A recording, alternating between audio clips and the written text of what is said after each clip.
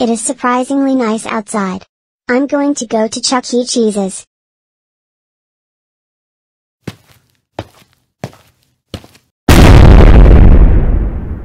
Where are you going, Caillou? I'm going to go to Chuck E. Cheese's.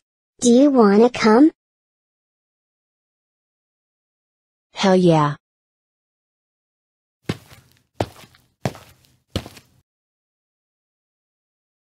Yay! It's Chuck E. Cheese's.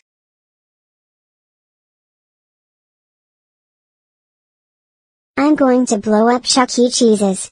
Har har har har har har har.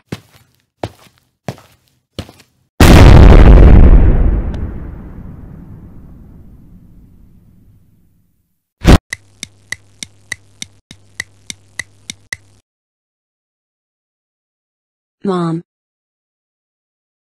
What is it, Rosie? Caillou blew up Chuck E. Cheese's. And you didn't do anything to stop him?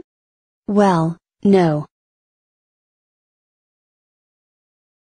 Hi mom, I'm home.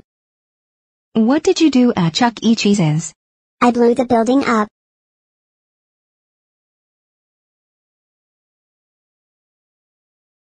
Hello, you are watching GNN News and this is your generic host, Generic Jennifer.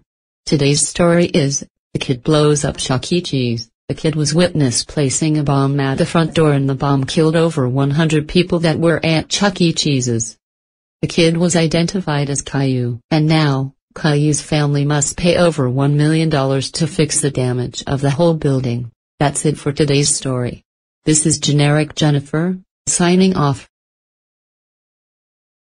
Rosie and Caillou. You are both grounded for 300 more seconds. Nobody cares, Dad. Yeah, shut up.